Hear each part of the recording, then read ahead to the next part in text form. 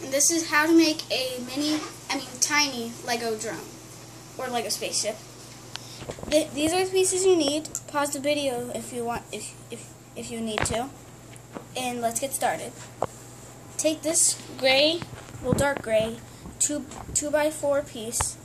Then you take this two by eight windshield, put it right there. Then you take these two two two by two flats put them right on top of each other in the back, like right like that. Then you take this piece. Oh, minor difficulties. You gotta first you gotta put this here. Then you gotta put this here. Then you put on the other two things. Yes, you did. Right. Then you take this piece, put it there, and then you take this two by one, put it there. Then you take these four gray, light, light blue transparents. Put them like, put them there. There you have it. A, a tiny Lego spaceship. There you have it.